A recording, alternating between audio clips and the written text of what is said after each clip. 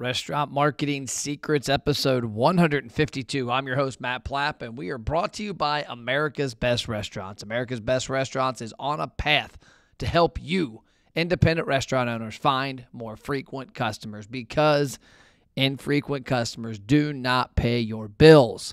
It's all about building relationships, creating customer loyalty, and retaining people long term if you have to keep going back to the pot to find new customers, then you're going to lose long term. And this also relates to marketing. If you consistently have to leverage front end marketing attention as your only means of getting in front of your customers, that means you are renting their attention. Let me give you an example. Let's say you run a Facebook advertising campaign and you spend $25 and you get people's attention and it works. A hundred people walk in your restaurant and spend $20 a piece. And you're like, holy crap, that worked. Well, guess what has to happen in order for you to get that outcome again? You have to buy that same ad and hope that that call to action works. But take it the other way. What if that ad that you ran gathered your customers' data? The only way they could get what drove them in to spend money was to give you information their name, their email, their phone number, their birthday. And now you have that data and you look and go, holy crap, we spent $25. We got 200 people's information.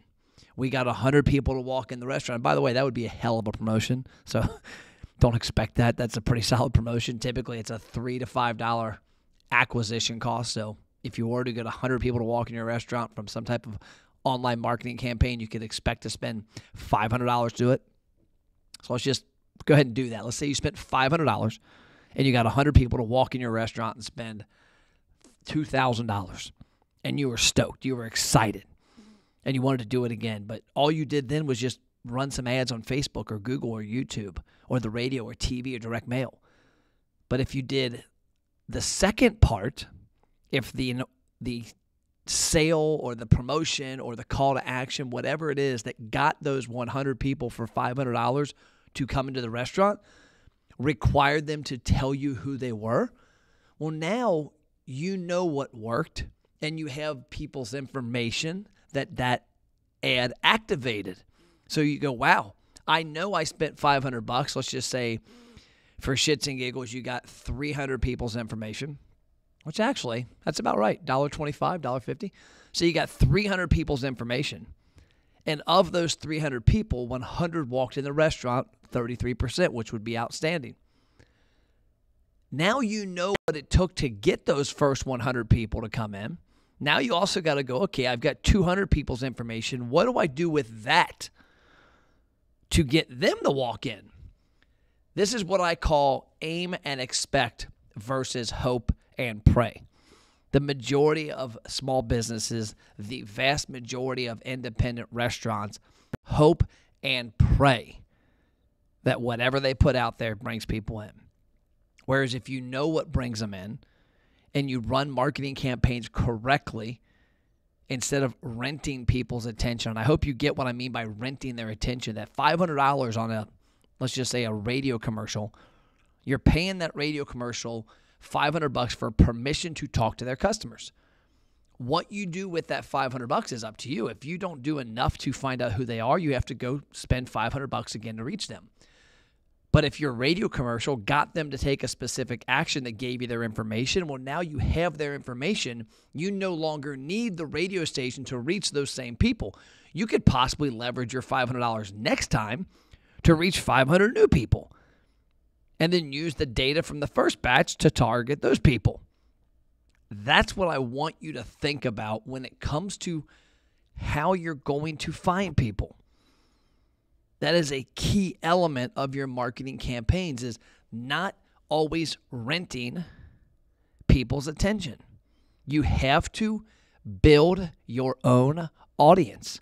You have to take efforts in your marketing to build your own database, a audience that you own. Otherwise, you are completely at the what's the word I'm looking for? The beck and call. No, there's some terminology I can't think of, but you're at the will of somebody else's audience. I think it's that you're at their beck and call. I think is what I was thinking of. So when you run marketing campaigns, you've got to think about what is the expect what is the hopeful outcome. So I wrote down this little list here and I was making this for somebody else. I was talking about for me some of the things I look at when I create a marketing campaign. Number 1, who is my specific audience? Number 2, what is my call to action? Number 3, what is my expected outcome? Number 4, how do I plan on retargeting them online? Number 5, how do I plan on retargeting them via email and text? And then number six, how do I plan on retargeting the people who clicked my call to action but didn't give me the action I desire. Let's say it's email, name, and phone number. How do I retarget them? That's just a basic for me, kind of a spelling out building a marketing campaign. And there's a billion ways you could do it, but that's just to me is one of the easiest ways for me to look at and understand because I want to have marketing campaigns that drive sales. I want to have marketing campaigns that drive engagement. I want to have marketing campaigns that drive traffic somewhere. But I have to have a plan set up. And if what I just walked you through requires me every time to repurchase that customer's information, then you're going to lose. And I'll give you an example. I'm going to log into a random client's dashboard here. Let's go to their dashboard. And we've got a bunch of dashboards, but this is a the acquisition dashboard. So I'm gonna go to a restaurant we work with called Lake End, newer client, blowing it up, crushing it. So we are. Let me look and see. What when did this start? I think about two and a half, three months ago. Started October 26th. So we're sitting here. As I record this, is January 8th. This is going to air January 9th. So we are basically November, December, January 9th. So we're two and a half months in. In two and a half months, we have gotten 7,400 people to engage, of which 4,300 people have started the conversation and 3,700 gave us their information.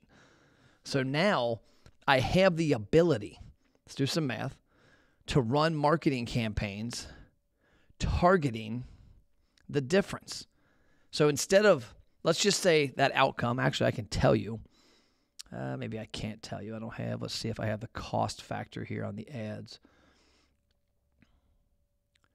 No, that's not right. So let's just imagine if I had to go off of my assumptions here 7,400 engagements, 4,000 people. It's probably $6,000. Oh, here we go. Never mind. I found the number. My bad. We changed our dashboard. $7,800. So $7,843.84 is what it took to get 7,442 engagements and 3,800 people's information. And that's about three months. So let's imagine, and by the way, that drove 59,000 in sales and it drove 930 people into the restaurant to spend that. So huge number there. But let's just imagine that I now know that, okay, I've got 7,400 people who took an action, but only 3,700 gave me their name, their visit frequency, and their phone number. Of which, by the way, 15.7% of those customers said they had never been to the restaurant, 45% said they hadn't been in a long time, 39% said they come all the time. So 60% of those people are very targetable people because they aren't coming to the restaurant right now. But if I subtract that number out, I have 3,665 people who we reached with advertising who took the, we'll call it bait, they clicked and did what I wanted them to do, but they didn't finish. Now I can spend my advertising money on the front end to reach those people again.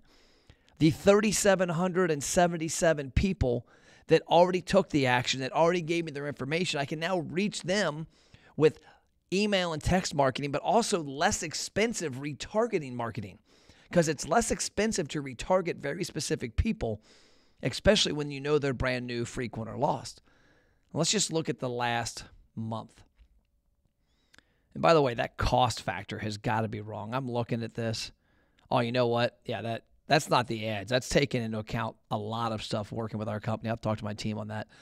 because their ad spend the last 30 days was 464 bucks. So 500 bucks a month times three, $1,500. So if I backtrack, that's even more effective. I knew these people were killing it. That 1500 that got is what it took to get 7400 engagements because this client's campaigns are just crushing it, like at a whole nother level. I'm on a new level. That's what their campaigns are saying. So in the last 30 days, they spent $464.95.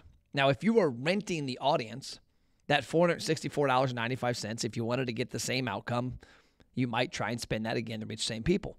That 464 got 1,005 people to give us their information, of which, and I'm going to talk about this in the next episode, it drove 567 people from their funnel because it wasn't 567 from that thousand, it was 567 cumulative from prior two months' efforts. But it drove 564 visits from that, which is $28,000 in sales. Hell, just yesterday, just yesterday, Saturday, January 7th, $16 spent on ads got 30 opt ins, so 50 cents. 35 redemptions from the funnel, $1,968.68 in net sales. A 123 to 1 return on ad spend, meaning they spent $16 and it drove 1900 bucks. Pretty impressive. But the reason I tell you that is on that what I was telling you for the 30 day where they spent 464 and got a thousand people's info. Well, now we don't have to spend money to reach those thousand people. We can probably reach them for $50 in retargeting and basically nothing for email and text in the big picture. We can now, if we want to, which we do, spend that 464 again to reach new people. We say Facebook, Instagram. You helped me get 1,005 people's information of which 567 or so, well, let's that's cumulative, of which these number of people walked in, and these people are frequent customers. Find me more people that look like that so I can repeat this and keep building my database every month with the right people. That is the opposite of renting an audience.